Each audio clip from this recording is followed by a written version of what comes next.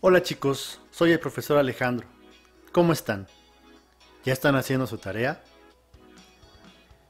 El día de hoy vamos a trabajar el paisaje sonoro. El paisaje sonoro es la representación de un lugar o situación, pero solo con sonidos. Cuando vas a un lugar como el bosque o la playa, utilizas tus sentidos para poder apreciarlo. ¿Sí recuerdas cuáles son esos sentidos? Claro, la vista, el tacto, el olfato, el oído y el gusto.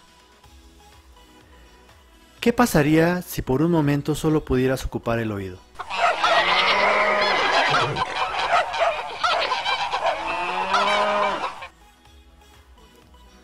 ¿Podrías reconocer el lugar donde estás?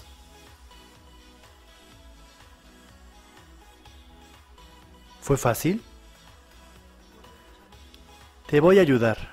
Vamos a separar los sonidos. Primer sonido. ¿Ya sabes lo que es? Segundo sonido. Tercer sonido.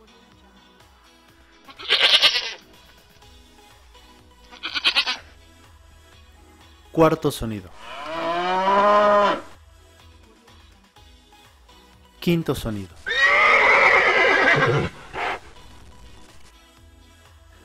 ¿Fue más fácil así?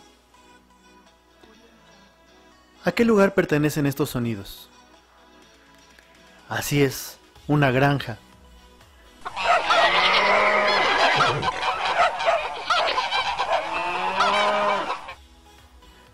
Supiste la respuesta ya sabes que es un paisaje sonoro.